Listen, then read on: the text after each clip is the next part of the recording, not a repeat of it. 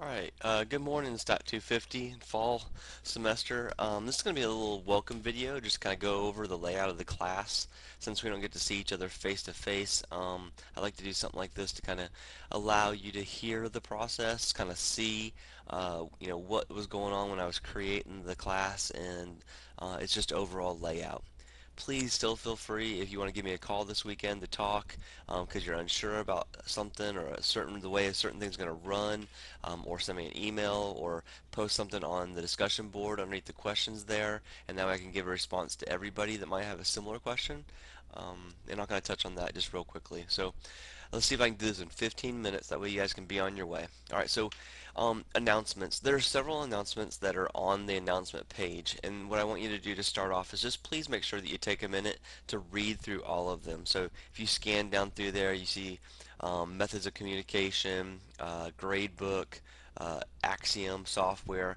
Um, I'm not sure if we're going to use this this semester or not, but at least it's in place, this email, and so that way if you do see it, just make sure you're aware of how to handle Axiom. And the main thing is, is don't back out.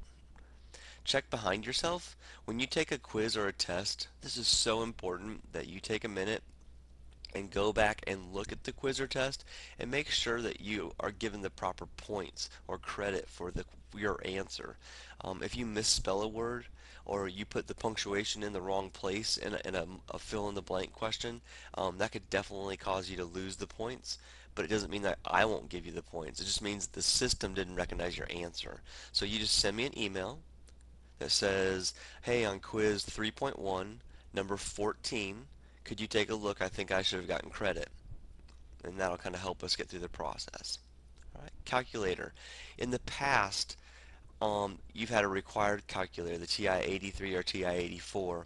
Um, I've decided that there are several websites out there that we can accomplish the same things um, and since many of you are professionals and the reality of using a calculator like this every day uh, probably don't really exist uh, I think using resources like the internet would probably be a better choice. So um, if you have a calculator already, you're welcome to go ahead and use it. I'll still keep my tutorial videos up so that way when we're doing a certain topic, you'll have the option of learning how to do it with the calculator or you have the option of learning how to do it with a website. If you have any questions about that, just contact me. Quizzes and tests. Um, so this is the biggest thing. You'll have two hours to take a quiz and a test. Um, those quizzes and those tests are open book because you know obviously you're sitting there by yourself um, at your computer uh, and you have one attempt okay? On the quizzes as soon as you're done I will show you the answers the actual correct answers will come up. On the test I do not give you the correct answers. You're required to go back in and look up and see if you can figure out what you did wrong on those quizzes or on excuse me on that test and then you can email me and we'll discuss the answer and so forth if you'd like but just keep in mind I don't I don't give the answers just directly right after a test however on the quizzes I do I still encourage everybody and I'll talk about this in a minute to make sure you look over your quiz and check your answers because that's part of the learning process alright one last thing when a quiz or test opens, it will be open for seven days. And when we look at the course pacing chart, we'll see what that means. Okay, so let's just go ahead and go to the course, co course pacing chart real quick. Actually, excuse me. Yeah, let's take care of the course pacing chart right now. Alright, so here we are. Um, this is the course pacing chart. This is what it looks like. Um, I just posted it just this morning, so go ahead and take a minute to get to that in the syllabus tab and print it out. This is like your calendar. Um, if you're if you're a, a, handheld device person, you know you've got a smartphone. Um, you might want to put these dates in your calendar. Um, you know, otherwise I'd say hang this on the refrigerator, hang it on your bathroom mirror. This tells you when things open. This keeps you on track. That's why it's called our co approximate course pacing chart. Of course, I put the word approximate in there in case we have to make any changes um, to the schedule. So just keep that in mind. Um, so as you go through here, let's just talk about the first quiz. The first quiz opens on Monday. So you have until Monday, at a minimum, to work on the suggested homework over chapter 1, uh, to kind of prepare yourself for the quiz. But then after Monday, you still have seven days to take the quiz. So the, the window of opportunity to, to take quizzes is, is very large. Um, you know, so you see there it's it's basically seven days.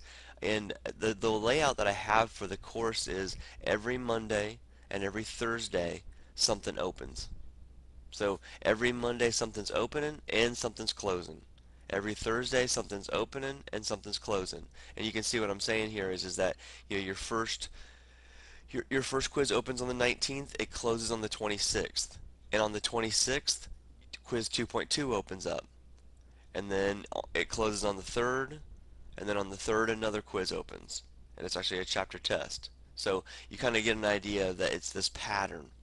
All right, along the way, in your um, the, it's actually just in the first couple chapters right now. I haven't really added thing to anything to the last couple chapters, and I may this semester. I'm going to go ahead and open that Liberty. I may put in a couple more assignments down here in chapter 8 or chapter 10. Um, if I do, I'll make sure I make a, a, a, email announcement. I'll post it onto the, the announcement page and send an email out. SoftChalk is an is a, a web-based um, place where we can submit assignments. This the SoftChalk assignments will be found in the homework folder. So if you're looking for the SoftChalk assignments when you get here to the one over section 2.3, you'll look inside the suggested homework folder for chapter 1 or for test number 1. Um, and just it's a link, you click on it. It's not there right now. I have to still upload it and get it ready to go. But it's just something that you go, you click on it, it opens up. You can use your book to answer the questions. It's just got some basic questions. It allows me to kind of get some feedback of how you're thinking. It also gives you instant feedback, so then you know if you did it right or wrong um, for the next quiz. All right, then we got Labor Day, we're closed, you know, so I didn't assign anything that day, I just pushed it back a day. All right, um, we also have an email assignment where you're going to get to complete something with Microsoft Excel. If you don't have Microsoft Excel, just contact me. I'm sure we can figure something out besides that. All right, so any questions on this, talk to me, ask me, okay? Um, down here at the bottom, Okay, the final exam. The final exam is cumulative. It's over all six tests. Um, our final exam um, is going to be our biggest final biggest test. It's worth 20% of our grade. So we're going to do this underneath Proctor U. Okay, so with Proctor U, that's that new feature that Thomas University is trying out this semester, or using this semester, excuse me, and you will need to schedule your an appointment with Proctor U, and I'll touch on that when I get to the syllabus. But you have three days. You have a three-day window to schedule that test to be able to complete it. So you find a good time in your schedule to get that test completed.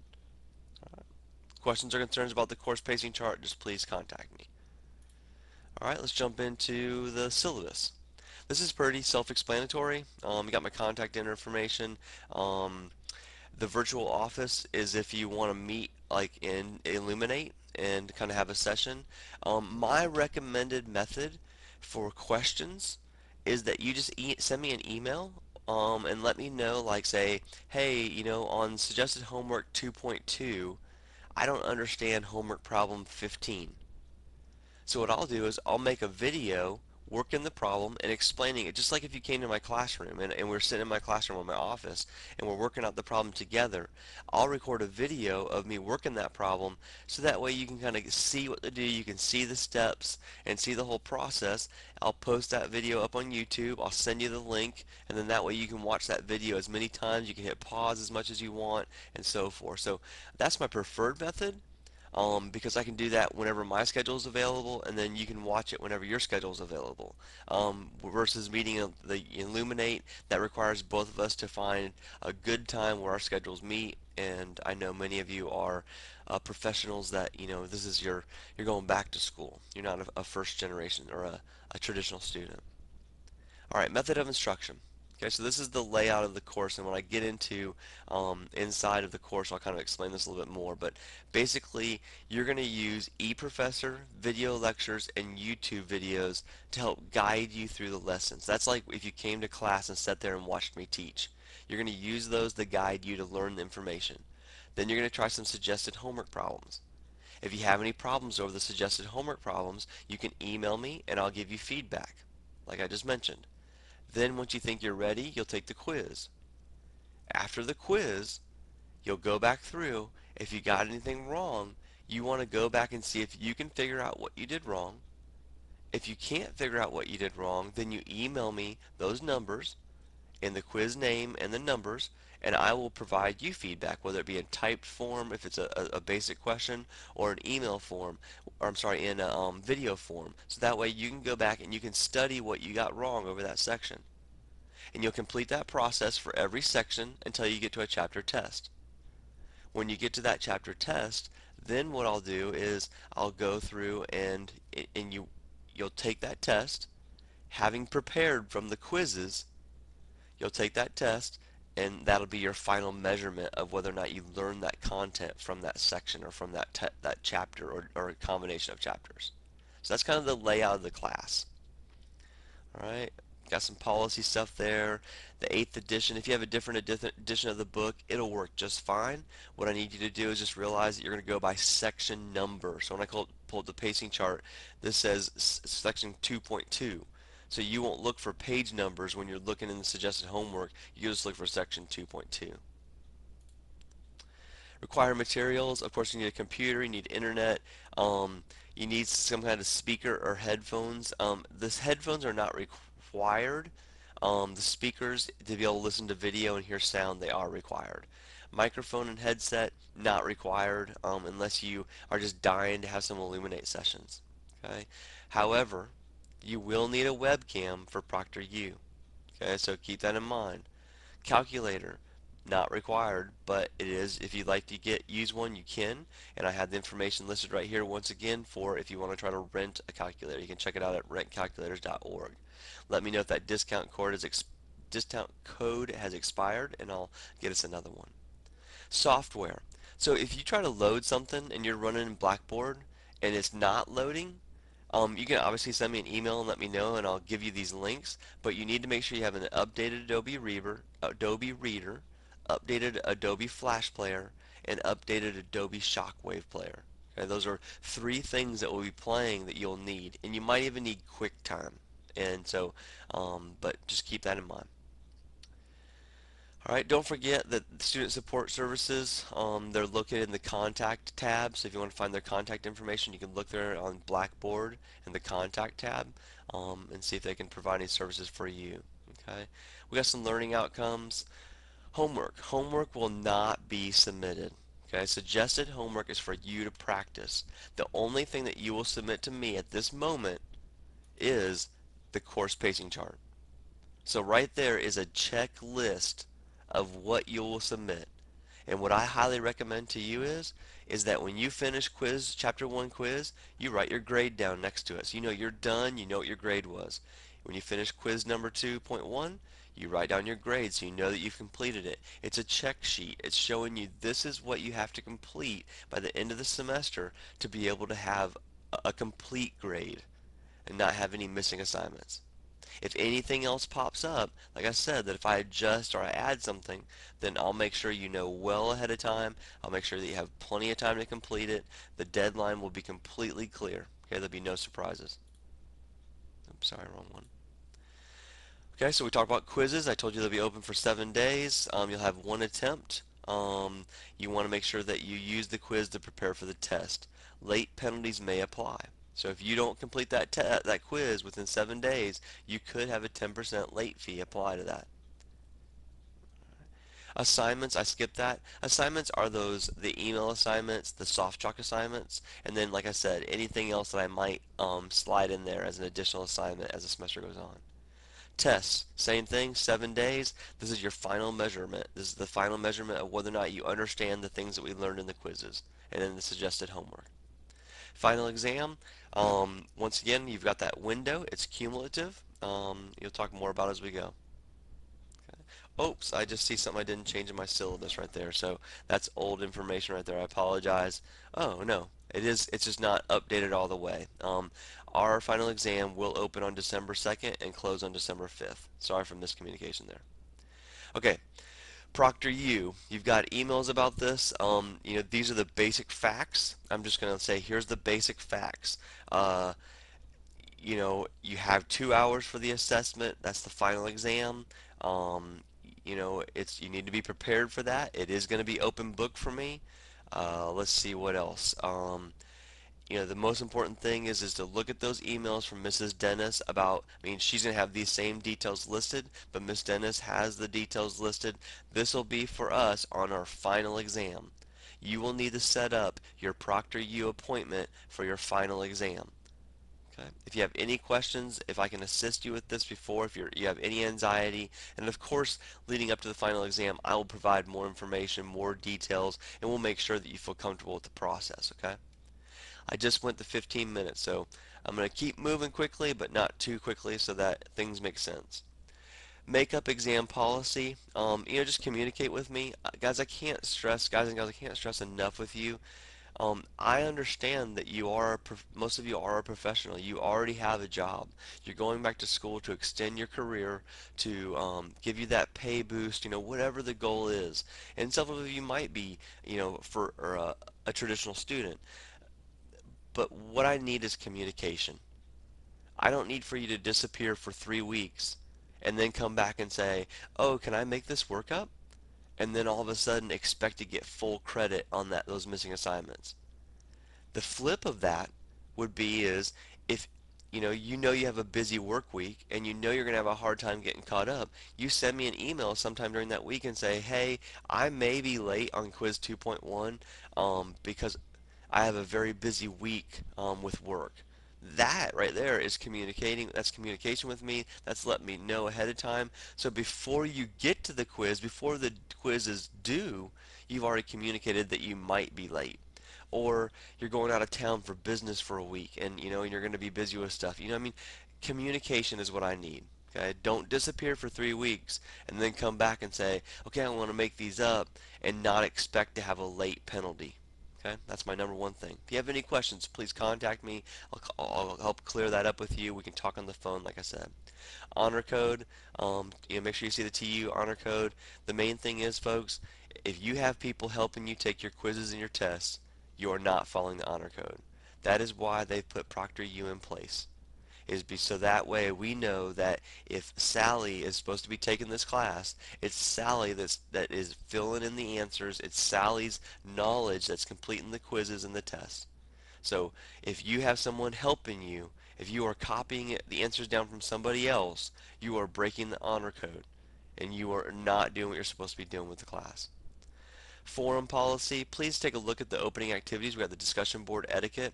Guys I, and gals, I really don't use the discussion board very much besides a place for you guys to put um, a, you know, opening activities and to put some general questions. Um, you know, I think as a math class, we can kind of serve this better by just kind of you know doing your problems working your stuff out there at times there might be some stuff we could do with discussion but I haven't implemented that yet so if you have questions for me regarding a homework problem, regarding a test problem, regarding a quiz pro quiz problem. Don't put post on the discussion board because I won't see it there as quickly. Post those questions to me on an email or give me a call or whatever, and that way I'll know that you you have a question. All right, we've got six chapter tests. Those are the topics that we'll be covering. Tests will account for 60% of your grade. Um, quizzes will account for quizzes and other assignments will account for 20% and then your final exam is 20% of your grade. Okay, so that's the breakdown. Basically what that means for you is that means that every quiz is about 1% of your grade. And that means that every test is about 10% of your grade. So you can screw up on a quiz, but I would highly suggest if you're looking to have a B or an A in this class, don't screw up on the test. Make sure that you've reviewed what's on those quizzes before you open a test. Late assignments, 10, 10% penalty. Okay, so 10% off the, the grade. So you make a B on that quiz, it's down to a C. You make a C, it's down to a D. Okay, and, and, and you'll notice there that I basically say a late penalty may apply.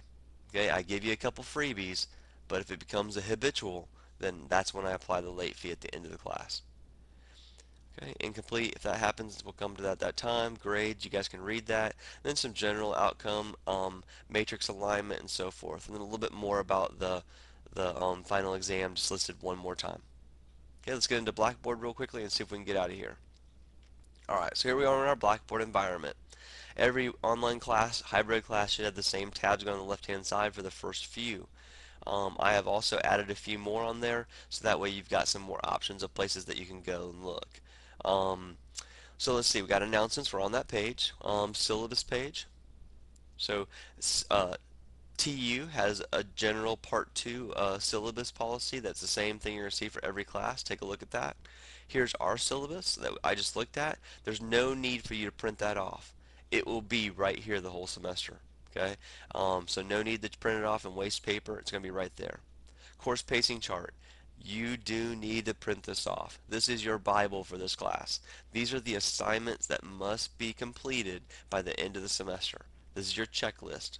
Okay, remember, like I said, write your grades down next to it, next to the assignment once you're done. That way you know you're done, you remember what you made on it, you got a record right there. Content. Content is where you go when I say um, to go look for an eProfessor video or to go look for a, a, a video lecture. This is the place that you go. So let's take a look at chapter 3. So in chapter 3, um, when you're doing section uh, 1, you're going to go in here and, and you can see here these are different videos that are provided by the textbook company and that I use in my instruction. So you'll click on it and it says follow this link and we're not going to watch the video I'm just going to let it pop up for a second. I just want you to see the, what it looks like what it, how it goes. Okay now right here you remember I was telling you that there are certain softwares that you're going to need. If one of these videos will not load then what you need to do is click on either one of these links right here because you're missing either a flash or a shockwave player. So you want to make sure you download those latest versions if you're having any troubles playing these. So they've got those on both of their videos um, types. They've got those little update links right there for you to use. Okay, so that's if I if I refer to and say, oh, go you know watch eProfessor video section 3.1. You know that's what I'm talking about. Okay, those are the videos that you'll reference. Those are in the Content tab. Discussion board. So what you can see here is some people have completed their intro forum. I've got 23 total posts. Some people have completed their reflection um, forum. They've got 18 posts. When I was talking about um, general questions, so if you have just some general questions that you might want to ask about something, you're welcome to go ahead and post it. I'll keep an eye on that, you know, and kind of see, you know, someone's got a, a post here that they've, they've done um, that I keep from previous semesters because people, you know, common questions. Um, and then I also have some questions about the syllabus or the course pacing chart. So that way, if they're just a generic question that people, everyone might have, then I have one place where you can come and reference them. Remember, we're, we're generally not going to post questions about suggested homework, quizzes, or tests on here. I would rather take care of those personally through email, um, so that way I make sure that I see your your uh, question as soon as possible. Tests, quizzes, and assignments. This is the magic key. This is the button that that takes you to all of your stuff that's coming up. Okay, so opening activities, that was your one of your first things. Hopefully some of you have started on that. I've, saw, I've seen that some things have come in and people have done their reflection. So these are just opening activities I'm asking you to have done by actually by today at 11.59 by midnight. Discussion board etiquette, um, syllabus, and course pacing chart. Okay, let's go back to that tab. Okay, and then this is where what you'll see is, so here's topic number one, suggested homework and assessments. So you click in there. And what you'll see is I have the suggested homework available for all the sections right now. But what you don't see is the quiz. Because the quiz for chapter 1 doesn't come available until Monday. So you have until Monday to be working on the suggested homework, getting the problems, getting familiar, preparing for your quiz. And then on Monday that quiz will come available and it'll pop up right here inside of, of this folder and you'll click on that quiz and you'll be ready to roll. Okay? Remember you have one attempt. Once you open that quiz, you have one sitting. So you can't close it and come back to it.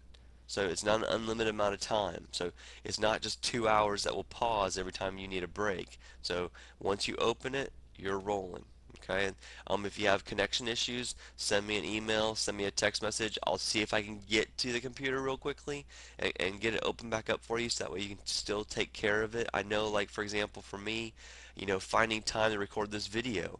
I needed to find 30 to 40 minutes at one moment to, to take care of it. So that means when you're taking a quiz, to need to find an hour to two to sit down and take the quiz and if it kicks you out and I'm not available to reopen it, I know that creates an issue. I'm aware of that.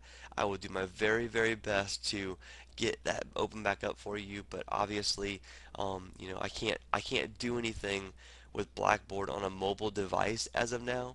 So it's not like I can take care of it from my phone. So I have to be at the house. I have to be able to get to a computer to be able to do it. So I will do my best, okay? I promise. So and as the semester goes on, the other folders will come available. They'll just pop up right below here in order. Contacts. So here's your contact information um, for different things, resources at TU. Okay, so take a look in there and see if you anything you might need. Looks like some of the stuff's listed twice. Sorry about that, but that way you make sure you get to see it, right? Okay, my grades is where you go to look at your grade for my class. Um, I, I'm going to show you on the grade. I have an announcement that talks about how you tell what your grade is. I'm going to show you on what my grade book looks like where it shows all everybody. But what I want you guys to keep in mind is, is that my grades works the same way. Um, if you want to go and open up a quiz that you already took and take a look at it, you go inside my grades, you find the quiz you want to look at, you click on the link, it'll pop the quiz back up and you can review and figure out what you did right or what you did wrong. Okay, so this is what it looks like for me, and so I can kind of reference and explain to you what I'm talking about with your grade. So um, just disregard the names there. They're going to stay there. Okay, so we've got uh, two columns right here that we need to pay attention to. We've got a column that says grade including missing. So what that means is that is your grade for every assignment this semester all at once. That means that if you haven't completed an assignment, it has a zero for it in the grade book. So that grade's going to be low the entire semester. It's going to be, you know, if you start out, it's going to be like a 7%. It's going to be an, a 10%. It's going to be 11%. Okay, the the next column, now it's a column for me, but for you it's listed in your My Grades. The other one says grade for completed work.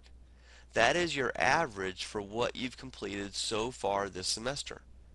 So that means that if you stop the class right then, that would not be your grade. That is just a grade for what you've completed. The grade including missing is your grade at that moment. So if you stopped doing any work for the class and just said, I'm done, I'm not going to take any more tests, I'm not going to take any more quizzes, that would be the grade that you would get for the class. So what will happen is as you get to the end of the semester, these two columns should be exactly the same grade because they are, you've now completed all of your missing work and you have a grade for the completed work. So those grades should be exactly the same. Okay? So don't get in a panic when you look down there and you're like, oh my god, I have a 25%. No, you don't. You have a 25% including all the things that you haven't completed yet. Your real grade for what you've done is the grade for completed. Okay, that's your average of the things that you've done. All right, so that takes us through the course, um, kind of the basic layout, the basic structure. Uh, you know, like I said, one more time so you hear it. You do the suggested homework. You don't submit it. You don't do anything with it. Um, if you have any questions, you email me. Once you get your questions answered from the suggested homework, you take the quiz. Once you've completed the quiz, then you see if you have any questions. If you feel good about everything on the quiz, then you go on and complete the next suggested homework and go on and complete the next suggested quiz, and you keep doing that process until you get to a test. Do not open a test until you feel comfortable with all of the quizzes. Once you feel comfortable with all the quizzes, take that test. Remember, the quizzes are worth about 1% of your grade. The tests are worth about 20. So if you I promise you, if you if you feel good about those quizzes, you will be ready to go on that test. Alright, so that's Stat 250. I went 15 minutes longer than I said I was going to do. I'm at 29 minutes right now. So um, I appreciate everybody. Please, if you need to hear my voice and you want to talk on the phone this weekend or anytime, please give me a call, send me an email, and give me your, your number and say, give me a call, please, when you get a chance. I'll give you a call. We can talk and we can ease any anxieties you have, answer any questions. All right, welcome to STAT 250. It's going to be a great semester. Um, I appreciate everyone's hard work and the sacrifices that you're going to make over this semester.